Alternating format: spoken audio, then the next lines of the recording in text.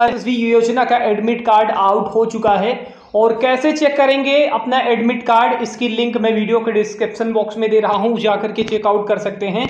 या फिर दोस्तों गूगल पे कैसे चेक करना है? आइए दोस्तों, सीधे मैं आप सभी को गूगल पे लाइव प्रोसेस चेक करके दिखाता हूँ। इसके लिए दोस्तों, हमको अपने गूगल के ब्राउज़र पे आ जाना होगा। यहाँ पर सर्च करना होगा, जानकारी फॉर जैसे ही जानकारी फॉर सर्च करते हैं कुछ इस तरह का इंटरफेस खुल जाता है, सबसे ऊपर इसकी ऑफिशियल वेबसाइट देखने को मिलेगी। सिंपली हम लोग यहीं पर क्लिक करेंगे और जैसे ही क्लिक करके नीचे स्क्रॉल डाउन करके आएँगे तो यहाँ पर देख सकते हैं आप लोग का दोस्तों एडमिट कार्ड के सेक्शन में आ जाना है और सबसे ऊपर देख सकते हैं पीएम यशस्वी एडमिट कार्ड ठीक है? सिंपली हम इसी पर क्लिक करेंगे और जैसे हम लोग क्लिक करते हैं, कुछ इस तरह का इंटरफेस सभी के सामने देखने को मिल जाता है, ठीक है?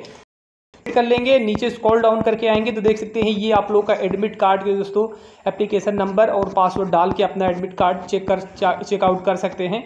लिंक मैंने वीडियो के डिस्क्रिप्शन बॉक्स में कमेंट सेक्शन में आप सभी को प्रोवाइड किया है। जय